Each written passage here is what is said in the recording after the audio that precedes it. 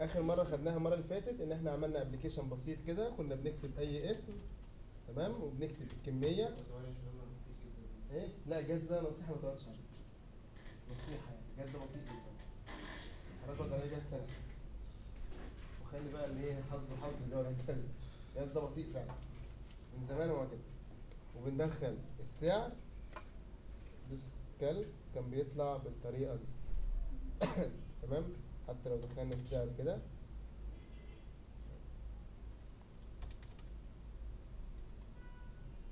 ده السعر. إحنا بقى كان بيطلع بالثلاث طرق text أو alert dialog أو توست. عايزين افرض رقم طلع لك بس الرقم طلع فيه كسور كتير كده وأنت عايز تقلله. طبعا هو ده طبيعي. ده طبيعي عشان أنا مدخل سعر فيه كسور. ده طبيعي عشان أنا مدخل سعر فيه كسور أساسا. افرض okay دخلت سعر فيه كسور بس أنا عايز أخلي أقل decimal 2 2 digit يعني مثلا يطلع 95 75 76 77 ما يطلعليش 3 digit ما يطلعليش ثلاث خانات. لا يطلع لي خانتين بس. بس خانتين في مين؟ في ال digit ال integer حط 20 خانة مش طبعا ال digit هو اللي دايما عايزين إيه؟ نقربه. بس مش أكتر. يعني لو 36 يا هعملها لك كده يخليها لك 40 مثلا. بيقرب ما يكونش إيه مفيش حد بيعمل كسر كل ده. 19 كده. لما تقول 19 40 وخلاص. حتى لو في الدرجات حتى في فواتير حتى في أسعار. خلاص. حتى في مج... يمكن لما تيجوا تجربوا ال system اللي أنتوا عملتوه ال assignment اللي كان اتعمل كان بيطلع فيه كسور كتير قوي كان بيطلع فيه كسور خصوصا لو في اسمه. يعني مثلا لو كتبت 350 حد عنده مشاكل في الاساينمنت اللي فات؟ طب ماشي نشوف. تمام. إحنا إن شاء الله هنحاول نخلص النهارده آه، بدري بسرعة. تمام؟ عشان تقعدوا تطبقوا. هنا ده في مشكلة؟ شايف أنا شايف كده أفضل. ولا إيه؟ في, في الأول بالذات. في الأول بالذات. بعد كده هتلاقيني أنا اللي بشرح. أما بعد كده في الأول بالذات أنا عايزك أنت تقعد قدامي تطبق تشوف المشكلة أشوف لك بصلحها لك إزاي عشان بعد كده أنت إيه؟ تبقى تاخد بالك من الحاجات دي. إيه؟ فيديوهات؟ معلش. المرة اللي فاتت بسبب المشكلة بس اللي حصلت معلش. وأنا بلغتهم قلت لهم ال USB تتفتح خلاص وحتى كلمتهم يا محمد أحمد أحمد كلمني كلمتهم بالليل والله الساعة 11 ونص قلت لهم تتفتح العملاء اشتكت بسبب المشكلة دي. طبعا بيقولوا هم بينقلوا قلت لهم بينقلوا فيديوهات بينقلوا برامج. البرنامج اللي أنا بعمله بعد ما بخلص بينقلوه ومحتاجينه عشان يشتغلوا عليه مش يقعدوا يحفظوا أكواد ولا بحب ولا حد بيكتب ورانا فقالوا خلاص هنفتح لك. بس أهم حاجة بعد إذن حضراتكم حتى أنتوا لو عايزين تعملوا كده آه، اما تيجي ما تفتحش ما تخش على الفلاش. send to على طول. كليك يمين على ال file send to. هم بس عشان الفيروس بس مش مشكلة بقى برضه افرض ناس ما عندهاش نت مش مش هنحكم الناس يعني فاهمني؟ عشان لو ناس ما عندهاش نت. دول خلاص. ده خلص. شكرا. فاحنا آه النهارده إن شاء الله هنلحق نخلص الجزء اللي إحنا عايزين نخلصه وبعد كده نبدأ.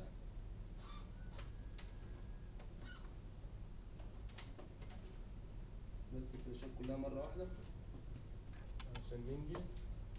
فلاشتك انت عبد الرحمن لوحدها كده.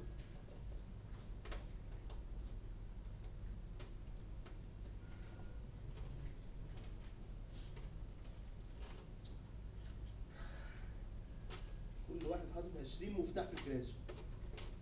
جنبه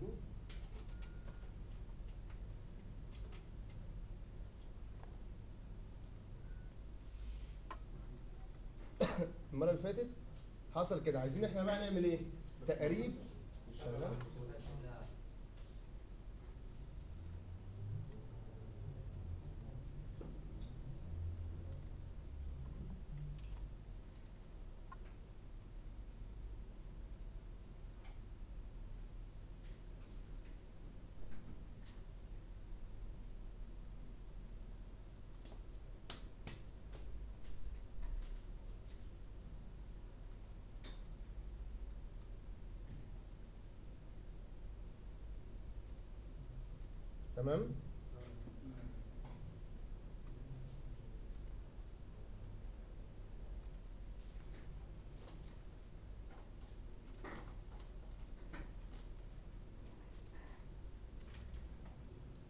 لو كتب أي حاجة أي كمية أي سعر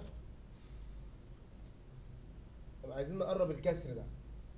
ال 144 تبقى 14 أو 15 ما يطلعش إيه؟ كسور كتير كده. فاهمين؟ الحركة دي اسمها decimal formatting الحركة دي اسمها بنعمل حاجة اسمها decimal formatting أنت عايز. عايز تعمل تقريب لل... للخانة دي في أنهي في أنهي متغير؟ الكمية ولا السعر ولا الإجمالي؟ ال total يبقى عينك على ال total. اللي بيعمل الحركة دي قبل ما يطبع أهو. ده كان بيطلع ال total بيضرب كمية في سعر بالطريقة دي. قال لك بنعمل حاجة اسمها decimal formatting decimal formatting ديت بتأثر على الحاجة اللي انت عايز تعملها. بتعمل إيه بقى؟ بتعرف متغير من نوع decimal format ده نوعه اسمه decimal format سميه أي اسم يعجبك. أي اسم مش فارق معايا. بعد كده يساوي new decimal formatting حط الشكل اللي انت عايزه.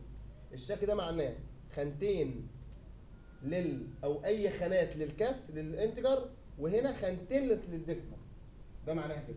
أي خانات لل decimal لل integer وأي وخانتين بس لل decimal لو عملت كده يبقى كده إيه؟ ثلاث خانات. بعد كده أنت كده عرفت متغير من نوع decimal format أهو لو كتبت كده. decimal. format أي اسم يساوي new decimal format واكتب ال format بتاعك.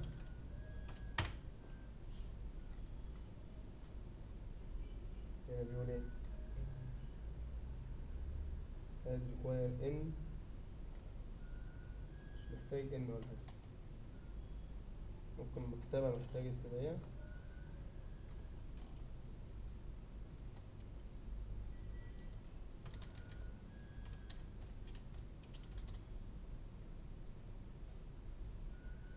آه اقرا بس بيقول لك إيه؟ واخد بالك؟ ال API 24 وانت دي كانت نازلة مع ال API كام؟ 16 فاهمني؟ فانت إيه؟ محتاج ال- ال version بتاعك الكود ده ما كانش موجود يشتغل على ال versions ده. لما نيجي نعمل دلوقتي application بس إحنا عملناه 16 عشان ال Genymotion تمام؟ طيب دي طريقة مش هتنفع بالطريقة دي. كنا بنعملها إزاي؟ هنضطر نكتب كده. my format بعد كده أروح قايل ال my format اللي انت استخدمتها دي المتغير dot format. عشان برضه هوريك وإحنا شغال على الجديده أنهي قيمة بقى؟ اللي هي قيمة مين؟ ال total اللي هي دي. ودي اسمها my format بس برضو بس عشان إيه؟ ال API كده بتعملها بالطريقة دي إن أنت تعمل إيه؟ بتعرف متغير decimal format تسميه أي اسم يعجبك.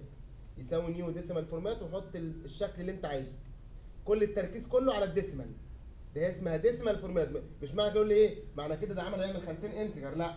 هو كل عينه على مين؟ على ال decimal بعد ال point. بعد كده المتغير ده اللي واخد الشكل ده كتبت dot format هيأثر على أنهي متغير؟ قلت له متغير إيه؟ ال total يبقى ال total لو طلع فيه كسر ياخد الشكل ده. دي طريقة. طريقة تانية عندك الطريقة دي.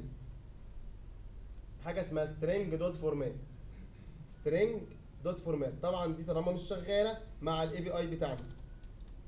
بتعمل حاجة اسمها string dot format. وبتكتب هنا value of a ده الشكل بتاعك. أي integer dot أو point two fraction two fraction يعني إيه؟ اتنين two digit على أنهي حاجة؟ على ال total دي طريقة تانية. string dot format. value of a. وتكتب هنا دي علامة في المية معناها أي رقم integer. point two fraction يبقى two digit fraction بعد كده هأثر على مين؟ على ال total لو خدنا دي كده cut الحركة دي وحطيناها هنا مكان كلمة total يبقى المفروض كلمة total تطلع في ال toast بال two fraction ولو حطيناها في ال في ال alert dialog ولو حطيناها في ال text مش كان عندنا ثلاث طرق.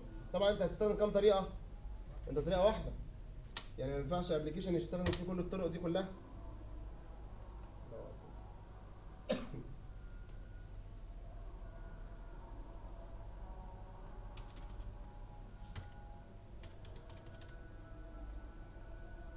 واخد بالك؟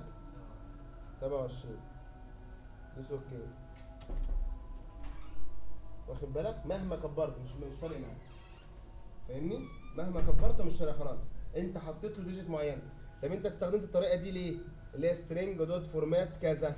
علشان دي مش شغالة غير مع API إيه حديث. نوع الجهاز ده بطيء.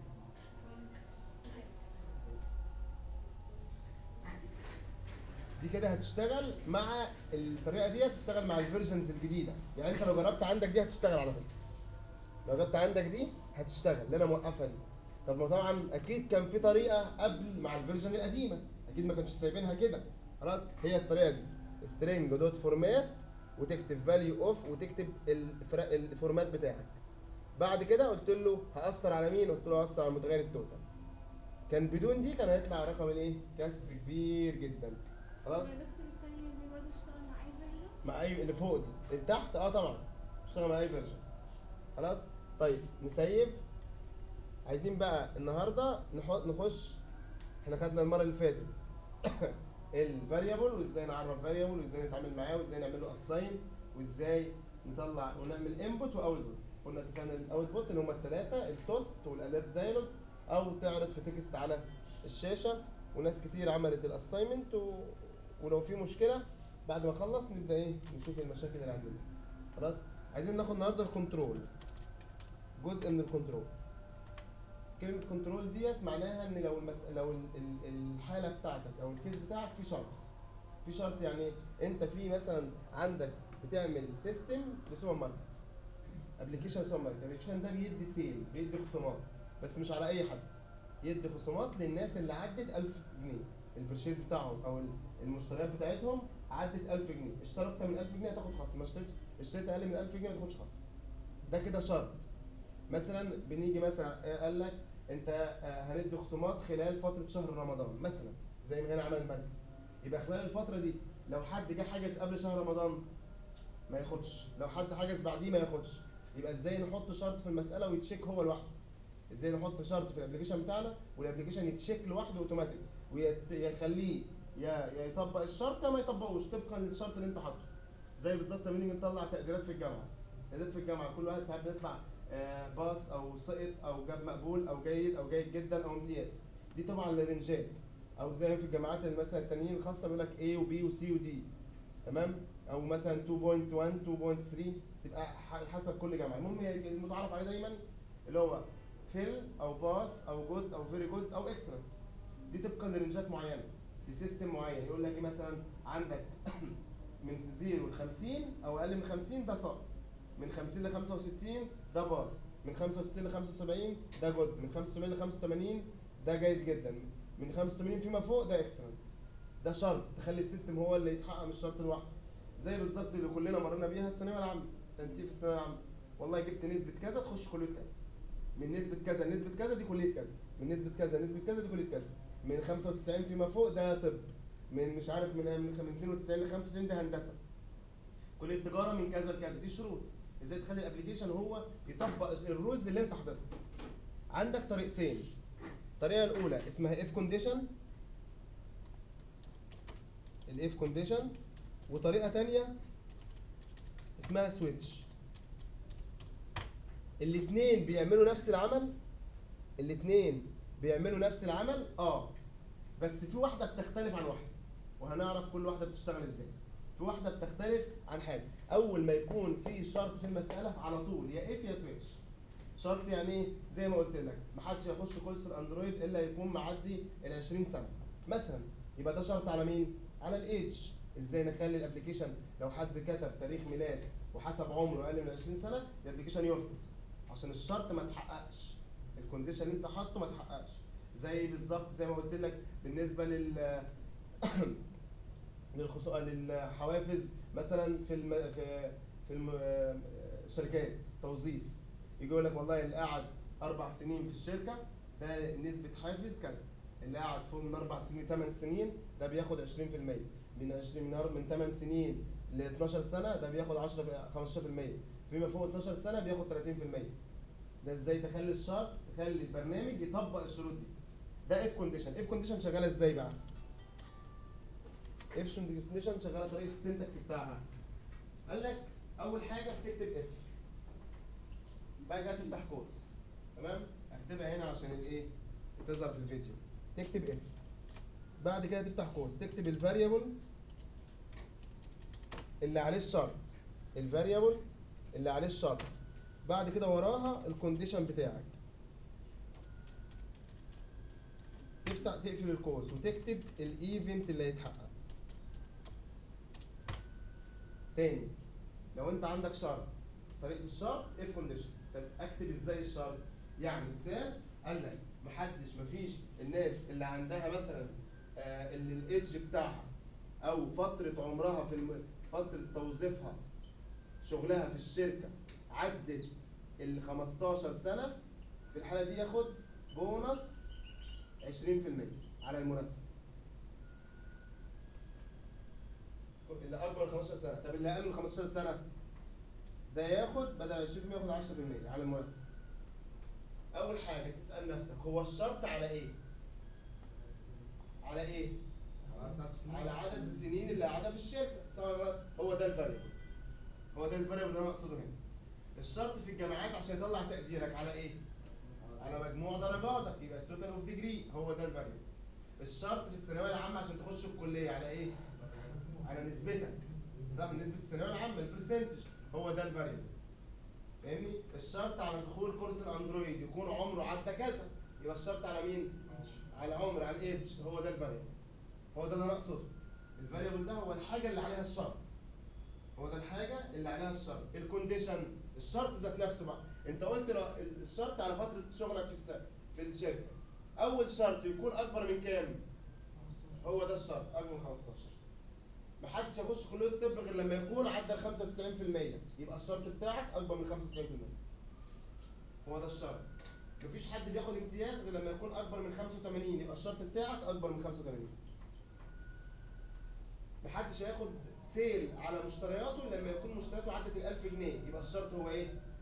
أكبر من 1000 هو ده الشرط.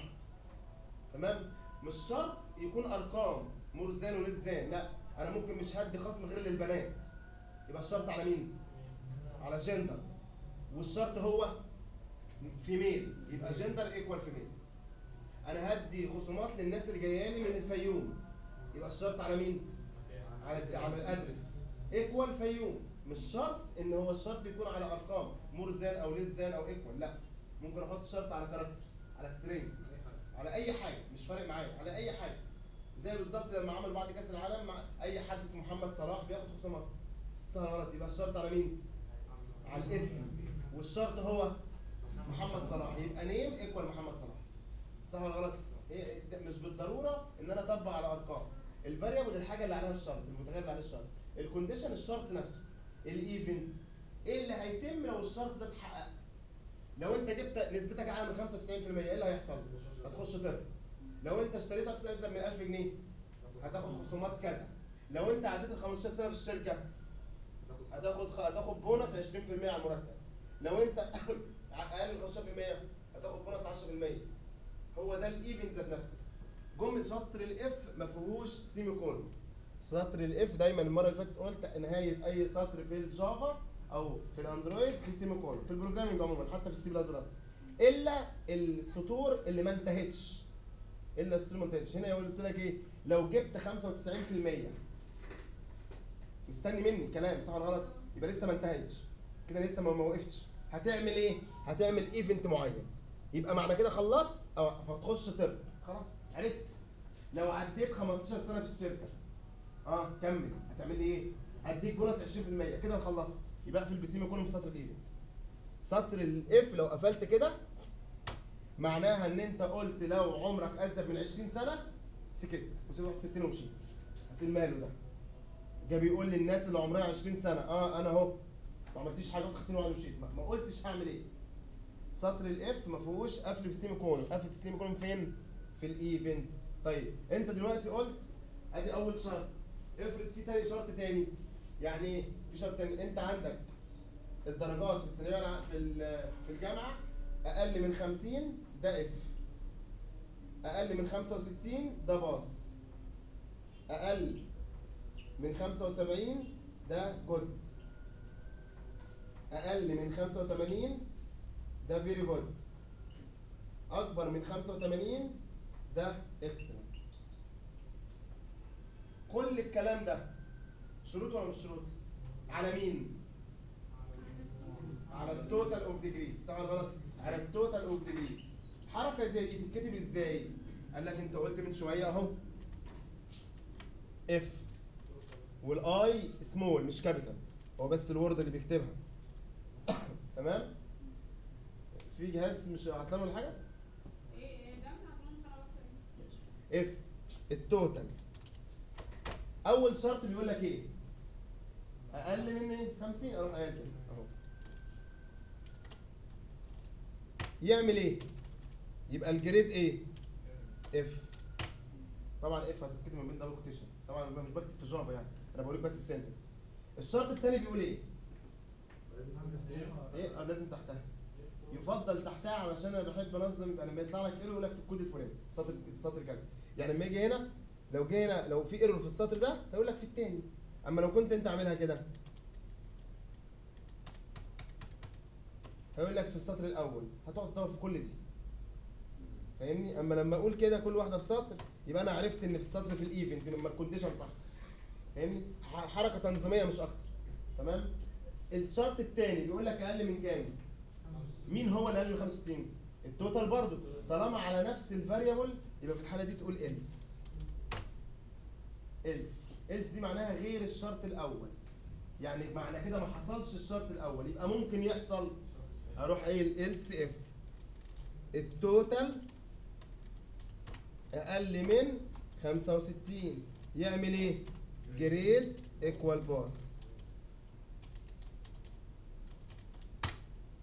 الشرط الثالث بيقول إيه؟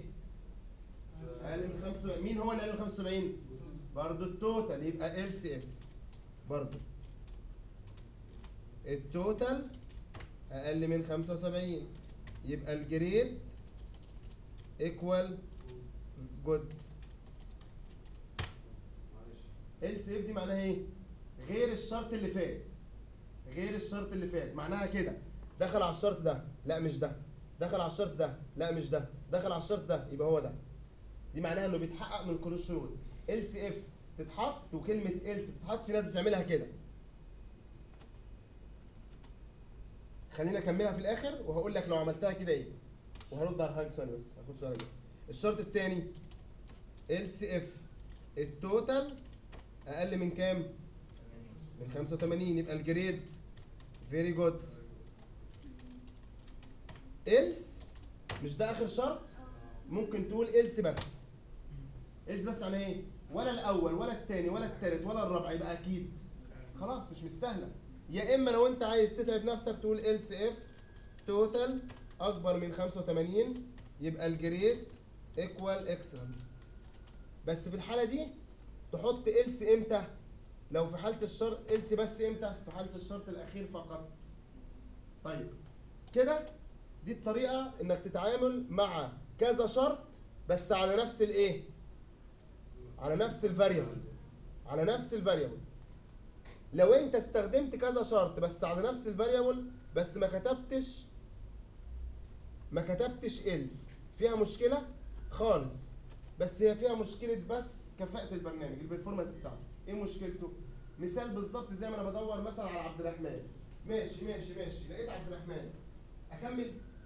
خلاص ما أنت لقيت اللي بدور عليه. لا بالطريقة ديت أنت هتقعد تكمل. لما أنت لقيته. خلاص خده واخرج. ليه تكمل باقي الشروط؟ أنت راجل هنا كتبت 64 ال 64 أقل من 50 لا لا أقل من 65 تقول لي آه ولا إجابة if condition يا آه يا لأ. ال 64 أقل من 50 أقل من 64 أقل من 65 يبقى إيه؟ خلاص أخرج. لأ هنا بالطريقة دي أقل من 75 لأ. أقل من 75 آه.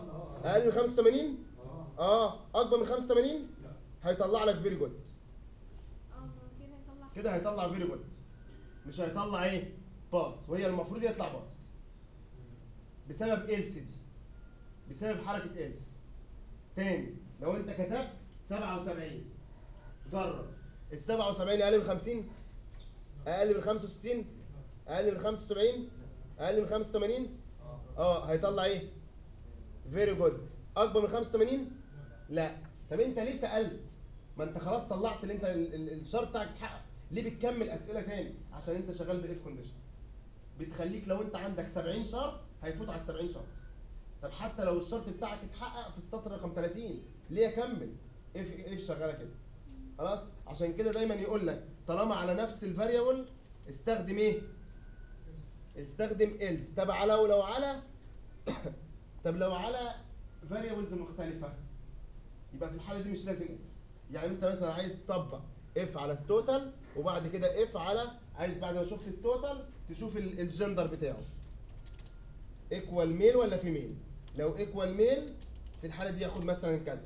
يبقى في الحالة دي طالما هنا مختلف عن ده يبقى في الحالة دي ما ينفعش استخدم else طالما شرطين هتستخدمهم بس كل شرط ب variable يبقى ما ينفعش استخدم else عارف ده معناه استخدمت else لو أنا قلت كل ال- الناس اللي البنات واللي جايين من مودرن اكاديمي هم اللي هياخدوا خصم في المركز.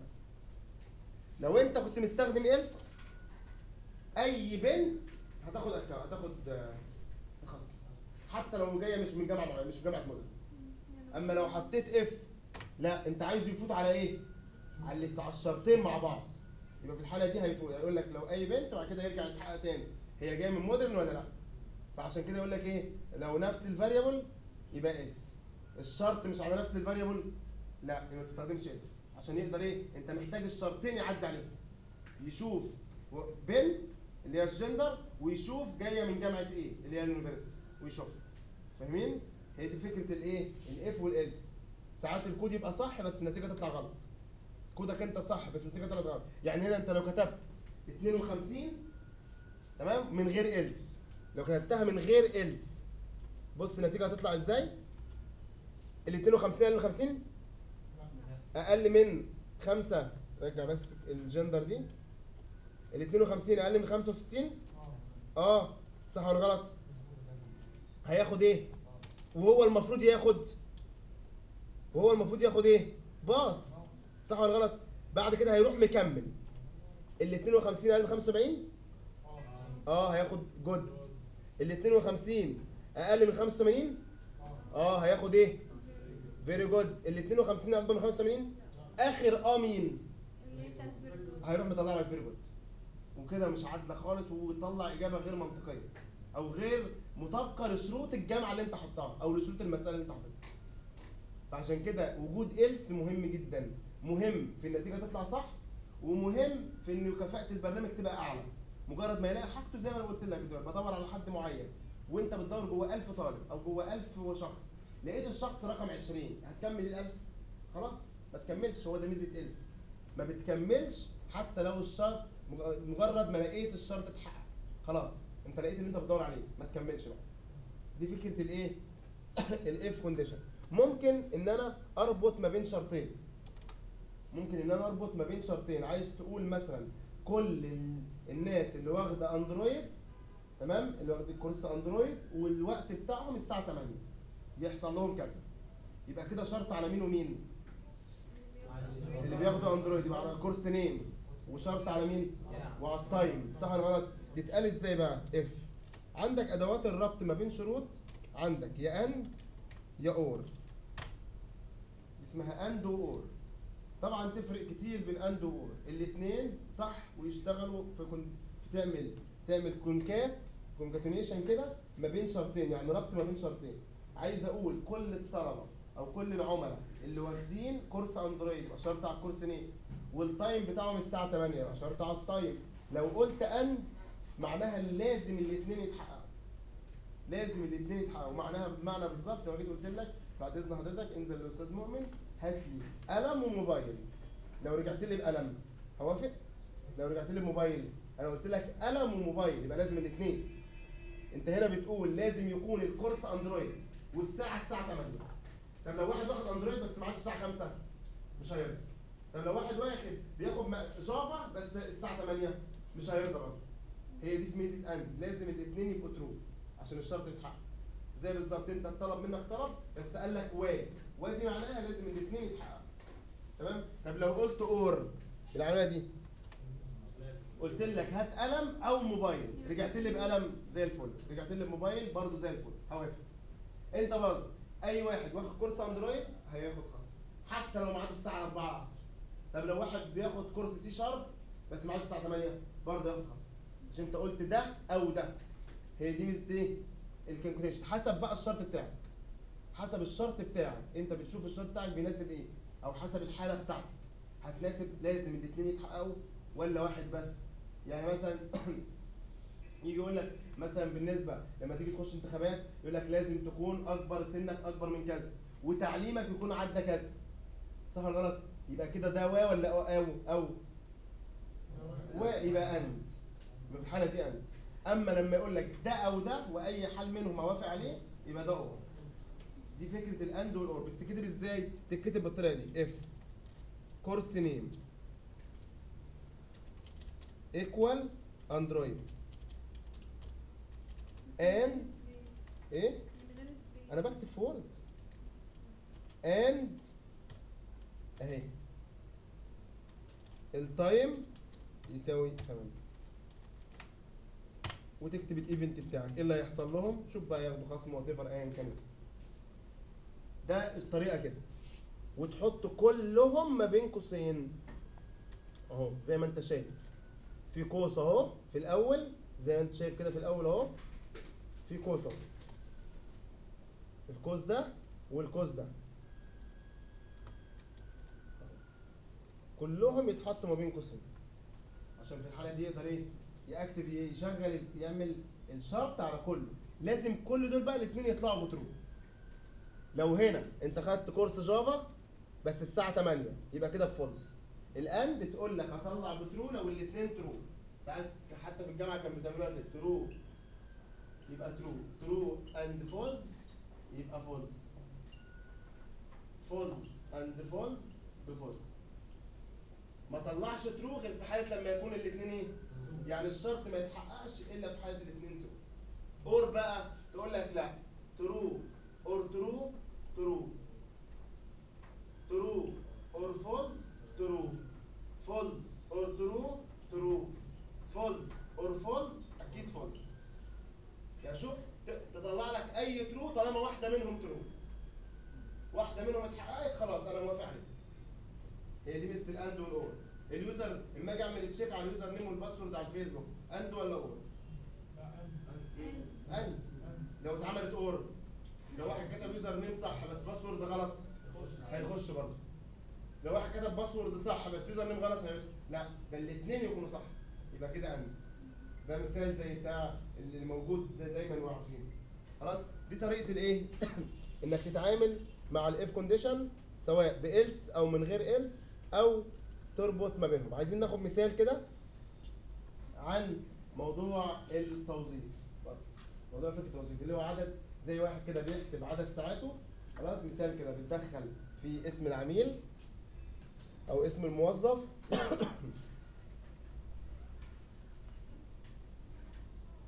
وبعد كده ال assignment هيكون تكملة على المثال اللي انت خدته assignment اللي هو إيه بقى؟ حضرتك بتدخل student name وبتدخل ال total وبتطلع ال percentage بعد ما تطلع ال percentage تقول لي ال percentage دي ياخد تقدير إيه؟ طبقا لل rules بتاع الجامعة إيه مش أنت طلعت ال percentage عايز تقول لي أقول لك بقى اللي أقل من 50% يبقى في الحالة ده سقط اللي أقل من أقل من 65 يبقى في الحالة ده آه pass. أقل من 85 يبقى في الحالة دي كذا. يعني النتيجه هنطلع بقى أنت طلعت ال percentage ده وهتطلع لي ال grade كمان. جنبيها جنبها تحتها ال grade يبقى هتطلع حاجتين. وبعد كده آخر ال session ممكن نزود عليها نشوف خلاص؟ المثال اللي إحنا عايزين نعمله. عايزين برضو زي ما اتفقنا هنا title ايا كان ال title أي اسم شركة. بعد كده هنا هنحط أي صورة. وعايزين نعمل check بقى على الشيء على كذا حاجة مش بالضرورة ال name يعني هنا المثال ده كده. بعد ما خلصنا اقفل كده. كان اسمه إيه؟ ده ولا سوبر ماركت 2 لا اللي عندي آه ده. دوس كده. ضرب. ضرب ليه؟ حضرتك ما كتبتش حاجة. طب ماشي المفروض ما يضربش. يقول لي طلع من فضلك دخل ال student name من فضلك دخل ال total ال quantity من فضلك دخل ال price يبقى معنى كده إمتى يطلع الرسائل دي؟ لو إيه؟ لو فاضيين. صح غلط ده if condition يبقى هعمل شرط هقول طلع رسالة من فضلك دخل الكمية إمتى؟ الرساله تطلع. لو ال text ده is empty فاضي. تمام؟ ده if condition أهي دي ضربت زي كده.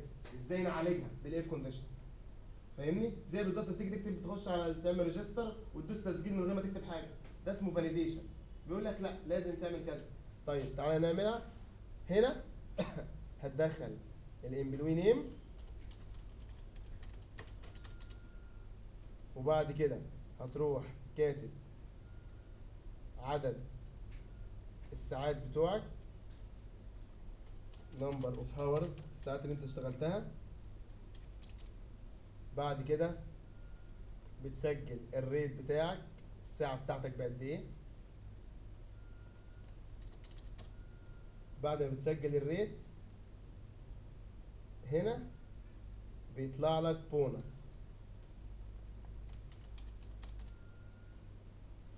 هنا بيطلع لك بونص بعد كده بيطلع بتدوس على الزرار ايا كان هو الزرار إيه؟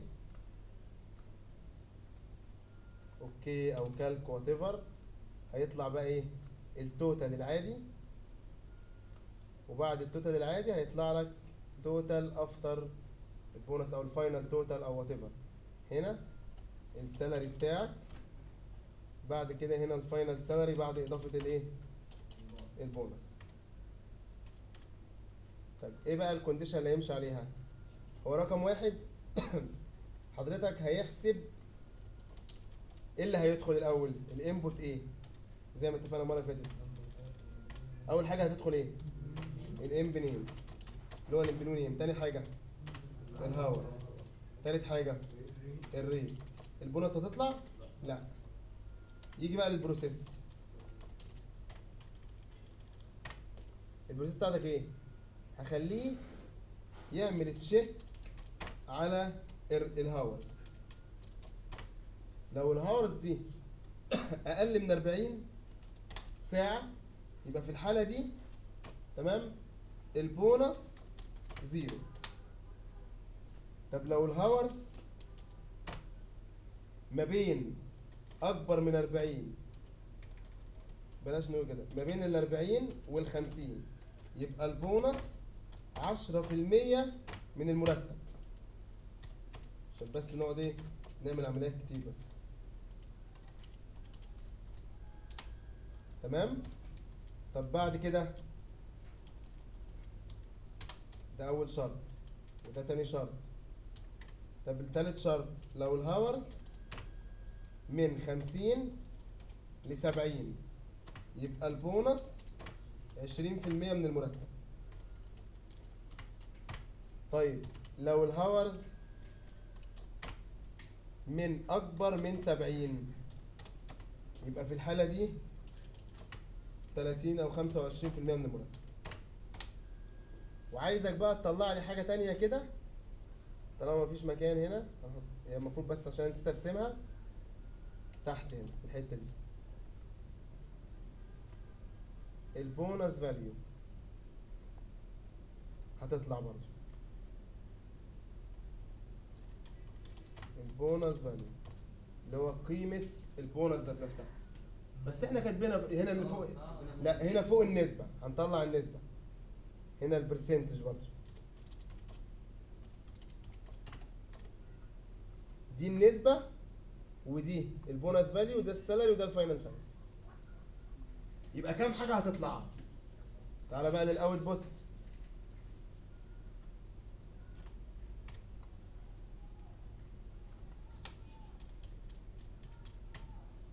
أول حاجة هتطلع إيه؟ بالترتيب. بالترتيب. أول حاجة هتطلع إيه؟ ال percentage. بعد كده. امم ال bonus value تطلع؟ هي ال bonus value تطلع على أساس إيه؟ ال salary يبقى طلع salary الأول. لازم مسألة تقعد تعمل analysis ليها كده عشان تعرف تحل صح. بعد كده أطلع الإيه؟ البونص إيه؟ value. بعد كده ال final.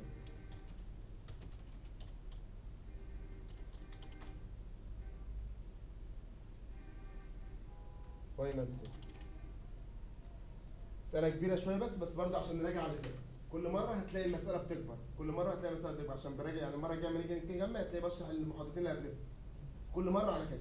طيب عايزين ناخد مثال بقى بسرعة زي ده؟ لازم يخلص قبل ال break. المثال ده. file عشان بعد ال break تيجي تحله new project هنسميه company وهنسجله زي ما إحنا ال application بتاعنا اللي هو course 11 next ماشي 19 next هنختار ممكن نختار المرة دي دي ون- ونبرمج ده. مش هيبقى زرار. أدوس على ده. next يبقى أسميها main activity finish زمايلك فين؟ مش عارف والله أنا بجيبهم بالعافية. طب يجيبهم بالعافية ليه؟ هما مش خايفين على الفلوس اللي دفعوها؟ بيهرجوا. طب مش دول معاك في المشروع؟ طلعهم والله بجد حاجة زي كده على طول عشان ده. ده هيضيعك في الآخر بعد كده بس حرام يعني بس دافعين فلوس يعني مش يجوا سيبه يحمل اقفل ده خالص بقى؟ آه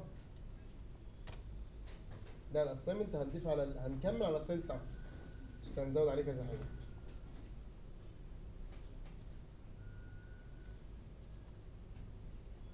يحمل بس تحت هنا.